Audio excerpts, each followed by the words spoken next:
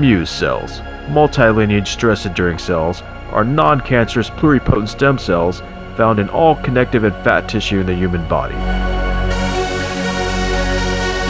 These cells are highly resistant to severe cellular stress and are involved in daily minute repair.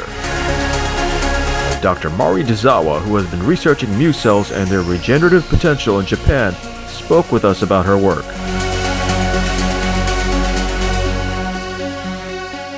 Muse cells are reparative stem cells that maintain our body uh, homeostasis in uh, micron level. So they are uh, residing in the bone marrow. They uh, constantly uh, mobilize the peripheral blood and then they are distributed to nearly every organ to maintain every organ's homeostasis by repairing at micro level.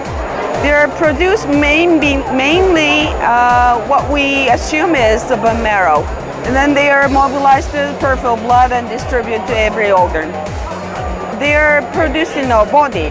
So whenever we uh, uh, perform the experiment, uh, we take the bone marrow or other tissues, in, even from the peripheral blood, and then we collect the Muse cells as uh, pluripotent surface marker positive cells, namely SSEA3.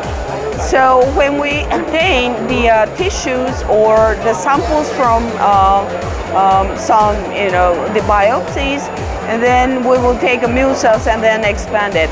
Otherwise, we can also harvest Muse cells commercially available mesenchymal stem cells and fibroblasts.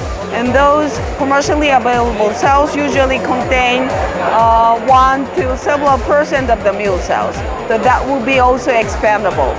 Well, Muse cells are actually a part of mesenchymal stem cells that correspond to 1 to several percent, but it's not exactly the same because Muse cells are pluripotent, but mesenchymal stem cells, I mean the remainder of the cells in mesenchymal stem cells are not pluripotent. Well, in Japan, uh, we're plotting both basic research uh, for characterizing Muse cell property as well as we're also preparing a clinic preclinical studies.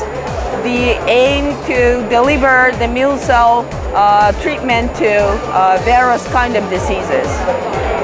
As far as we um, investigated, the Muse cells are harvestable from a broad spectrum of mammalian animals.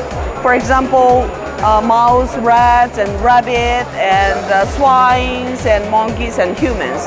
So we all succeeded in collecting pluripotent Muse cells by using SSEA3 and they're shown to be able to differentiate into nearly every kind of the cells in our body. There are no side effects as far as we saw. So because, this is because Muse cells are maintaining our body daily and they're able to accumulate to the damaged site when they are circulating by using sphingosine monophosphate receptor. And then they spontaneously differentiate into a cell that make up a tissue and they repair and replace the cell that are damaged or lost in a tissue in micro level. Well, the Muse cells already uh, applied to clinical study in Japan uh, conducted by Life Science Institute company. That's a group company of Mitsubishi Chemical Holdings.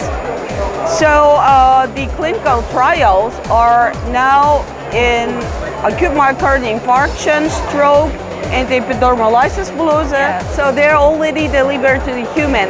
And we are evaluating safety as well as efficiency.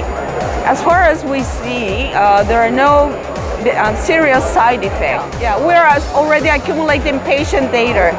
Uh, Life Science Institute and Mitsubishi Chemical Holdings are aiming to get uh, final approval by 2020 or somewhere like that. Yeah. So you will, if, if the clinical studies are going well, then we will also hoping to open it for the United States as well as in other countries.